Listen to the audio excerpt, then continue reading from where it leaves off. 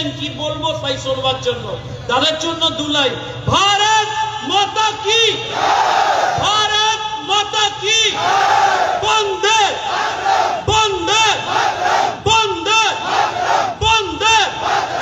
আপনারা গেছিলেন ঘরের সামনে?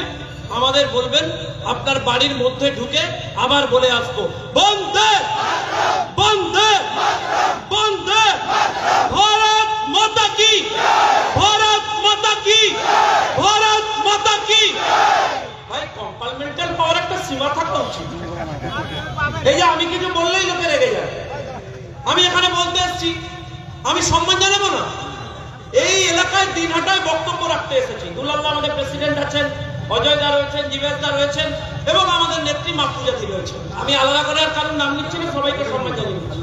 সম্মান যদি এখানে কাউকে দাঁড়িয়ে জানাতে হয়, তার নাম কমল গুহ। আমায় মার্জনা করবেন। আমি আজকে বিজেপির মঞ্চ থেকে যাকে সম্মান জানাতে চাই, তার নাম কমল গুহ কমল গুহ কমল গুহ কমল গুহ, কমল আপনাকে আমার শত কোটি প্রণাম। আপনি একটা ছেলে দিয়েছেন, কিন্তু তাকে মানুষ করতে পারেন আমায় মার্জনা করবেন। আমি উদয়নদাকে শ্রদ্ধা করে বলছি, আমার বাবার বয়সী লোক। দেখলাম ছেলের বয়সী নেতা। মিছিলকে প্রায় মারতে যাচ্ছেন। ভিডিও, সিনেমা দেখছে আক্রমণ করছেন। গুন্ডামো শেখাতে চাইছে আরে ভাই, আমি জেনেছিলাম এটার নাম কোচবিহার। এটার ঐতিহ্য ছিল। উদয়নদা আপনি তো একে বিহারের থেকেও খারাপ অবস্থা বানাচ্ছেন। কুচবি বিহার বানানোর চেষ্টা করছেন। আপনি একটা কাজ করুন উদয়নদা আপনার এলাকায় দাঁড়িয়ে বলে যাচ্ছি। আপনার এলাকায় দাঁড়িয়ে বলে যাচ্ছি। আমরা নিশ্চিত প্রামাণিকের দল করি আমরা নরেন্দ্র মোদীর দল করি। আপনাকে ঘড়ি দিয়ে যাচ্ছি। টাইম আর স্পেস কখন আসতে হবে আর কোথায় আসতে হবে বলে দেবেন। আপনার গুন্ডা বাহিনী দাঁড় করিয়ে রাখবেন বুক খুলে দেবো গুলি শেষ হয়ে যাবে আটকাতে। সাতান্ন ভোটে হেরেছিলেন কত ভোটে? শুনতে পাচ্ছি না ওনাকে শোনাতে হবে। সাতান্ন ভোটে হেরেছিলেন ম্যাজিক কি বড় ম্যাজিসিয়ান এক লক্ষ চৌষট্টি হাজার ভোটে জিতেছেন। আপনি তো শিল্পী মশাই। আমি শুনলাম রাজ্যের মুখ্যমন্ত্রী আপনার কাছে ট্রেনিং নেবেন বলেছেন। বলেছেন কোন পদ্ধতিতে রিগিং করা যায়? কমল গুহ সু- সুযোগ্য সন্তান উদয়ন বাবুর কাছে শিখতে হবে। আমি আশ্চর্য হয়ে গেছি। আমি আপনাকে শ্রদ্ধা করতাম যেদিন এত বড় লেভেলের চুরি করলেন সেদিন থেকে শ্রদ্ধা আপনার প্রতি বেড়ে গেল। কারণ সেদিন আপনার কাছে খুব ছোট মনে হচ্ছে পার্থ চট্টোপাধ্যায়কে। বান্ধবীর বাড়িতে মাত্র পঞ্চাশ কোটি পাওয়া গেছে। আপনি এক কোটি চৌষট্টি লক্ষ ভোট তুলেছেন। লজ্জা হয় আমাদের। সন্ধ্যাবেলা তো পড়াশোনা করব বলে বসেছি। বাচ্চারা বসেছে। হঠাৎ বলছে টি টোয়েন্টি দেখব। তা আমি বললাম, বাবা টি টোয়েন্টি দেখবি কেন? এখন টি টোয়েন্টি কোথায় হচ্ছে? তারপরে দেখি বাচ্চা ছেলে যে নিউজ চ্যানেল খুলেছে। কি জন্য দেখছে জানেন দেখছে টালিগঞ্জের বাড়িতে বেশি টাকা উদ্ধার হচ্ছে নাকি বরানগরের বাড়িতে বান্ধবীর বাড়িতে বেশি টাকা উদ্ধার হচ্ছে টি টোয়েন্টির প্রতিযোগিতা চলছে চুরি চুরি চুরি চুরি চুরি চুরি চুরি চুরি চুরি চুরি চুরি চুরি চোর বলছি বলে রেগে যাচ্ছে আপনারাও করবেন না আমি অনুরোধ করবেন না ভাই একটা সীমা থাকা উচিত ধর্মতলায় চলে যান নাম হয়েছে ধর্ণাতলা আচ্ছা দেখুন কথা বলব জন্য এখানকার কথা বলব না? এসেছি একটু আপনার কথা বলি? এই এলাকার একজন দাদা, আসছিলাম। দাঁড়িয়ে দোকানে লোকে। আমি বললাম, একটু জল খাবার, অনেক দূর থেকে এসেছি। বললাম, কেমন আছেন? বলল উদয়ন বাবুর রাজত্বে ভালো আছি, কিন্তু পঁয়তাল্লিশ হাজার টাকা দিয়েছিলাম, বাড়ি হবে বলে। আবাসনের মালটা এখনও পেলাম না। উদয়ন বাবু বুঝতে পারছেন কি না বাড়ি করে দেবেন বলে পঁয়তাল্লিশ হাজার করে নিয়েছেন লোকের কাছ থেকে, লোকে পাচ্ছে না। আচ্ছা দেখুন, দোকান থেকে উকি মারছেন একজন সিনিয়র ব্যবসায়ী। বলছেন, ছেলেটা বলছে বটে, বারবার বলছে আবাসনের কথা, কিন্তু বলছে না যে এখানে একটা টি শার্ট কিনতে গেলে কলকাতার থেকেও বেশি দাম দিতে হয়। আমি বললাম, কেন?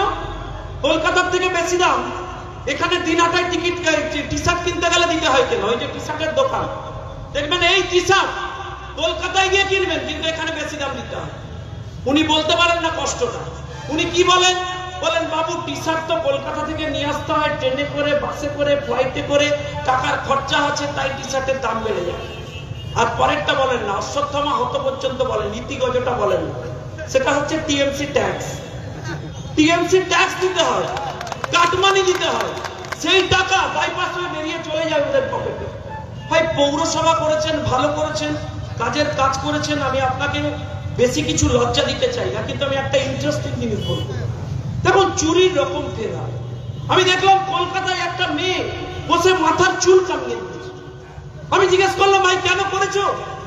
কি বলল জানেন বলল, আমার চাকরিটা চুরি করে নিয়েছে, তাই প্রতিবাদ করছে। যাদের চুল কামানো উচিত ছিল, তারা অবশ্য কামাচ্ছে না। মানুষ আগামী দিনে গণতান্ত্রিক প্রক্রিয়ায় কামাবে সময়ের অপেক্ষা। তা আমি কুচবিহারে যদি ভুল বলি, আমায় অজয়দারা যদি ভুল করেছে, কেলেঙ্কারি করেছে, আমি মিথ্যে বলছি কিনা বলুন আপনারা। একটা সেক্টর বাদ দেননি নিশ্চিত প্রামাণিকের তো দোষ আছে। নিশ্চিত প্রামাণিক দেশের মন্ত্রী হয়েছে। এলাকায় একটা এয়ারপোর্ট তৈরি করার চেষ্টা করেছে। নিশ্চিত প্রামাণিকের তো দোষ আছে। নিশ্চিত প্রামাণিক মন্ত্রী হয়েছেন। এলাকায় যুবদের জন্য একটা স্টেডিয়াম করার চেষ্টা করেছে। নিশ্চিত প্রামাণিকের তো দোষ আছে। তিনি বন্দে ভারত এক্সপ্রেস চালু করবার চেষ্টা করেছেন। নিশ্চিত প্রামাণিকের তো দোষ আছে। তিনি প্রায় চার হাজার লোককে নিয়ে গেছেন এমসে চিকিৎসা করানোর জন্য। তাই তাকে আক্রমণ করবেন না। তাকে হাফপ্যান্ট মন্ত্রী বলবেন না। আমার প্রশ্ন, আপনাকে আজকে উদয়ন বাবু জানতে চাই, যদি নিশ্চিত প্রামাণিক হাফ প্যান্ট মন্ত্রী হয়, তাহলে রাজা, তোর কাপড় কোথায়? তোর কাপড় কোথায়? তোর কাপড় কোথায়? কোথায় কাপড়? কোথায় উন্নয়ন? কোথায় উত্তরবঙ্গে মানুষের জন্য আপনি কাজ করেছেন? আমি জানতে চাই আপনার কাছে। উত্তর নেই। রাজা তোমার উত্তর নেই। উত্তর নেই বলে তুমি ব্যক্তিগত আক্রমণ করো। উত্তর নেই। তুমি উত্তরবঙ্গ উন্নয়ন মন্ত্রী উত্তর দিতে পারো না বলে তুমি গুন্ডা বাহিনী দিয়ে টার্গেট করো। আমি আপনাদের একটা কথা বলব, শুনুন। আপনারা গণতান্ত্রিক প্রক্রিয়ায় ভোট দেবেন। আমি ধর্মীয় আলোচনা ইলেকশন কমিশনের ক্যামেরা চলছে, করতে চাই কিন্তু আমি দুটো কথা বলতে চাই। এই মুসলিম ভাইদের এরা বুঝিয়েছিল যে ভারতীয় জনতা পার্টি যদি ক্ষমতায় আসে, তাহলে তোমাদের দেশ থেকে বার করে দেবে। আমার প্রশ্ন, সারা ভারতবর্ষে ক্ষমতায় রয়েছেন নরেন্দ্র মোদী। একটা ইনসিডেন্ট আমাকে দেখিয়ে দিন, যেখানে আপনাদের দেশ থেকে বার করে দেওয়া হয়েছে। এই মাফুজারি বসে রয়েছে আপনাদের কমিউনিটির লোক। হজের ন্যাশনাল কমিটিতে রয়েছেন। কতজনকে হজে পাঠায় নরেন্দ্র মোদী? খবর ওনার কাছ থেকে। আমি আপনাদের কাছে জানতে চাই, আমি হিন্দু বাড়ির ছেলে, ব্রাহ্মণ বাড়ির ছেলে। আমার বাড়িতে যখন পুজো হয়, দেবতার জন্য আমাদের সম্পত্তি উৎসর্গীকৃত করা থাকে। সেই সম্পত্তিকে বলা হয় দেবোত্তর সম্পত্তি। সেই সম্পত্তি থেকে যা রোজগার হয়, তাতে তৃণমূলকে কাটমানি দিতে হয় না। যে টাকাটা রোজগার হয়, তাতে দেবতার পুজো হয়। আমার মুসলিম ভাইরা থাকলে আমি ভুল বললে ঠিক করবেন। আপনাদের কমিউনিটিতে ওয়াক আপ প্রপার্টি বলে একটা প্রপার্টি আছে। আপনাদের কম, আপনাদের ধর্মের উন্নতির জন্য সেই সম্পত্তি আপনাদের লোকেরা দান করে দেয়। কি কাজ? সেই সম্পত্তির টাকা থেকে যাতে আপনাদের শিক্ষা, সংস্কৃতি, পড়াশুনো কমিউনিটির উন্নয়নের কাজে লাগে। আমি এই রাজ্য সরকারকে প্রশ্ন করতে চাই উদয়ন বাবুর মাধ্যমে। আপনি ইমাম আর মুয়াজ্জিন ভাতা নিজের পকেট থেকে কেন না দিয়ে এদের উন্নয়নের টাকা থেকে চুরি করে দেন? আমার প্রশ্ন আপনার কাছে। ভাই দু হাজার এগারোয় ক্ষমতায় এসেছে। সাচার কমিটি বলছে সরকারি ক্ষেত্রে মুসলিমরা কাজ করেন টু পার্সেন্ট আর আজকে দশ বছর শাসন করেছেন। আজকেও অফিসিয়ালি সাচার কমিটি রিপোর্ট বলছে, সরকারি ক্ষেত্রে মুসলিমরা কাজ করেন ওয়ান পয়েন্ট সেভেন পার্সেন্ট আমার প্রশ্ন আপনার কাছে, কি উন্নয়ন করেছেন আমি শুনলাম এখানে নাকি প্রচুর জলপাই কালারের পোশাক কিনছে জেলা পুলিশ। খুব সাবধান। সব সিভিক পুলিশকে বলেছে, কেন্দ্রীয় বাহিনীর মতো জলপাই কালারের পোশাক দাও। দিয়ে রাস্তায় নামিয়ে দাও। আমার সিভিক ভাইদের কাছে প্রশ্ন। তৃণমূল কংগ্রেস তোমায় চাকরি দিয়েছে। বাড়িতে গিয়ে বউকে বলতে পারবে না যে তোমরা একটা সরকারি চাকরি করো। আমার সিভিক ভাইদের কাছে প্রশ্ন, গিয়ে ওসিকে জিজ্ঞেস করবে যে একজন অফিসার ইনচার্জের থেকে আমি বেশি করে খাটি এখানে, একজন কনস্টেবলের থেকে আমি থানায় বেশি পরিশ্রম করি। তবু আমার বেতনটা এরা চুরি করে নেয় কেন? প্রশ্ন করবে, কেন আমার এখনও পর্যন্ত পারমানেন্ট হলো না? এই সরকার কেন আমাকে টাকা দেয়নি? জানতে চাই। আমার প্রশ্ন সরকারি কর্মীদের কাছে। কেন্দ্র সরকার যদি চল্লিশ শতাংশ দিয়ে দেয়, তৃণমূল কংগ্রেস কেন আজ পর্যন্ত সেই দিয়ে দিতে পারছে না? লোককে রাস্তায় বসে থাকতে হচ্ছে। যখন ভোটের দিন সরকারি কর্মীরা ভোট লুটতে উদয়নবাবুকে সাহায্য করবেন, তখন একবার ভেবে দেখবেন এই সরকারটা চৌত্রিশ বছরের সিপিএম এর থেকেও খারাপ কিনা, যারা আপনার ডিএর টাকাটা মেরে দিয়েছে। আর মা বোনদের জন্য বলে শেষ করে দেবো। মা বোনদের জন্য বলে শেষ করে দেবো। আমায় একজন মা বললেন যে আমায় পাঁচশো টাকা বাড়িয়েছে। কিন্তু ওই টাকাটা আমি নেব না। ওই টাকাটা আমি চিঠি দিয়ে নবান্নে ফেরত পাঠিয়ে দেবো। চলে যান। ভারতীয় জনতা পার্টি প্রার্থী করেছে একজনকে। কাকে? যে সরাসরি কোর্টে বেরিয়ে বলেছে যে শাহজাহান আমার মান সম্মান লুটে নিয়েছে। যে বলেছে শাহজাহানের মতো বীর প্লেয়াররা আজকে এইখানে ভারতবর্ষে বসে আরেকটা দেশ বানানোর চেষ্টা করছে। আমার প্রশ্ন, তৃণমূল কংগ্রেসের কাছে উদয়ন বাবুদের কাছে যাদের ভোট ব্যাংক আপনি ব্যবহার করছেন, আগামী দিনে তারাই আপনাকে মসনদ থেকে টেনে নামাবে টেনে নামাবে আর টেনে নামাবে সময়ের অপেক্ষা। আমি শুধু আপনাকে আবারও একটা শেষ করব কথা বলে। উদয়নবাবু, আমি বিশ্বাস করি, মেরেছ কলসির কানা, তাই বলে কি প্রেম দেবো না? উদয়ন বাবুকে দেখলে কেউ মারবেন না, কটু কথা বলবেন না। ওনার বয়স হয়েছে, ওনাকে একটা গোলাপ ফুল দেবেন। কেন দেবেন? গোলাপ ফুল কেন দেবেন? কারণ রাজনৈতিক ভাবে যিনি মৃত, রাজনীতিতে যিনি মরে গেছেন, তাকে মেরে খুনের দায়ে যাওয়াটা বুদ্ধিমানের কাজ বলে তাই ওনার জন্য আমাদের দুটো লাইন, মেরেছ কলসির কানা, তাই বলে কি প্রেম দেবো না? আপনার জন্য অঢেল প্রেম, কেন জানেন? কারণ উপর থেকে কমল গুহ বলছেন, একটা ছেলেকে জন্ম দিয়েছি কিন্তু মানুষ করতে পারেনি। মন্ত্রী হয়েছে তৃণমূল কংগ্রেসের, চোর হয়েছে কিন্তু মানুষের সেবা করা শেখাতে পারিনি।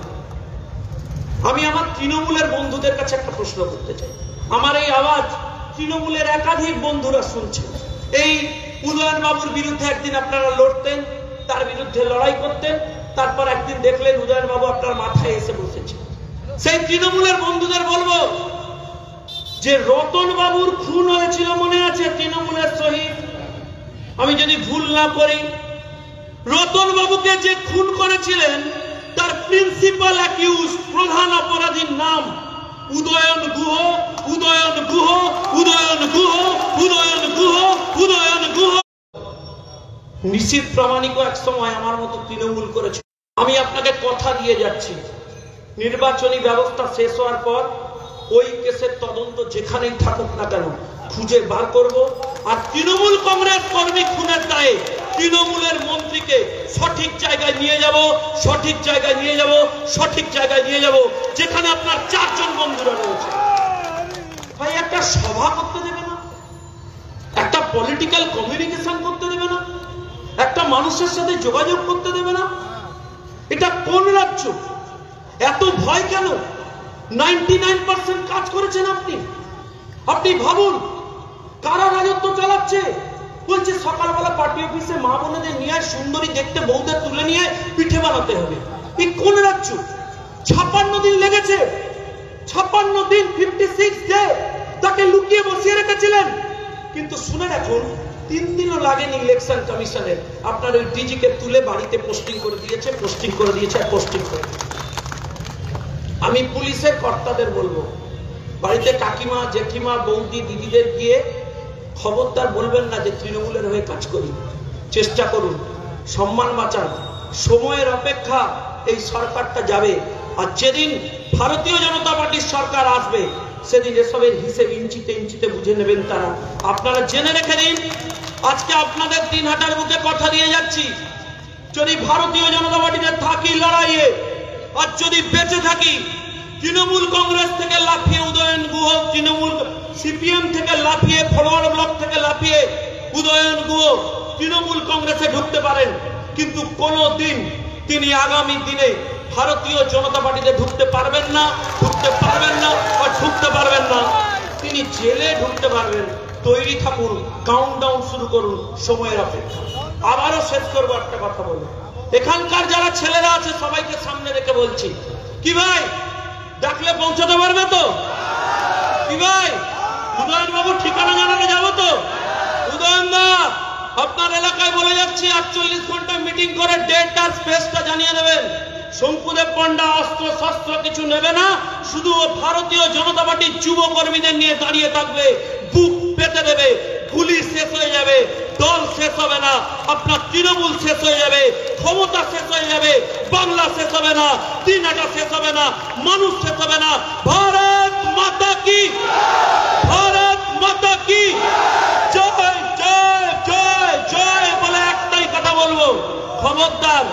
জয় বাংলা বলতে যাবেন না, কারণ ওটা তৃণমূলের চোখে হয়, যারা সত্যি দেখতে পায় না। সত্যিকারের বাংলার জয় যাদের নেমে করতে হয়। ভোট দেবেন তো নিষিদ্ধকে? ভোট দেবেন তো নিষিদ্ধ প্রামাণিককে? ভোট দেবেন তো বাড়ির ছেলেকে? মন্ত্রী বানাবেন তো আবার, ভারত মাতা কি? ভারত মাতা কি? ভারত মাতা কি? বন্ধ বন্ধ বন্ধ ভোট দেবেন কোনখানে? ভোট দেবেন কোনখানে? ভোট দেবেন কোনখানে? কত ভুলের ছবি দেয়